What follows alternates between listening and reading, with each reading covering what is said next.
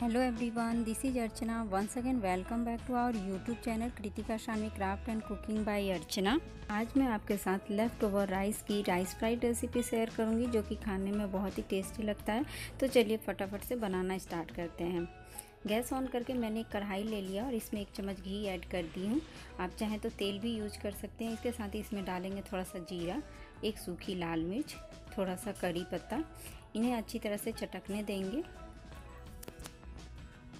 इसके साथ ही मैं इसमें ऐड कर रही हूँ एक कटा हुआ प्याज। प्याज को मैंने लंबे टुकड़ों में काटा है। आप चाहें तो इसे बारीक भी काट कर डाल सकते हैं। अब हम प्याज को दो मिनट के लिए भूनेंगे। प्याज को बहुत ज़्यादा लाल नहीं करेंगे।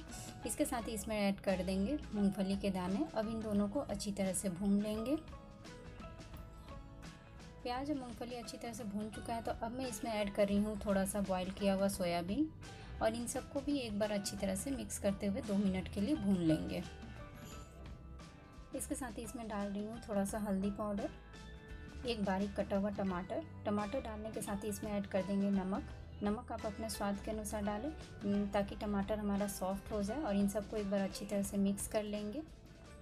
इसके साथ ही इसमें ऐड कर देंगे थोड़ा सा कद्दूकस किया हुआ अदरक और इन सबको एक बार अच्छी तरह से मिक्स करेंगे। मिक्स करने के बाद गैस की फ्लेम को लो टू मीडियम रखेंगे और इसे ढककर थोड़ी देर के लिए पकने देंगे। थोड़ी देर के बाद हम इसे चेक कर लेंगे और एक बार अगेन इसे अच्छी तरह से मिक्स कर देंगे और मिक्स करने के बाद हम इसमें डाल देंगे लेफ़्ट ओवर राइस और इन सबको एक बार अच्छी तरह से मिक्स कर लेंगे।